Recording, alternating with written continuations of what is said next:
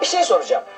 Sen iki kişilik bir kanepeyken istersem dinlenme koltuğu, istersem köşeli oturma takımı ya da bir yatak olabilir misin?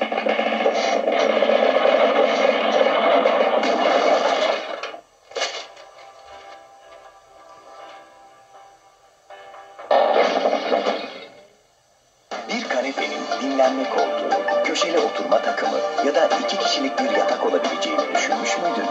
Biz düşündük. Ars değil. Evinizde yeni standartlar.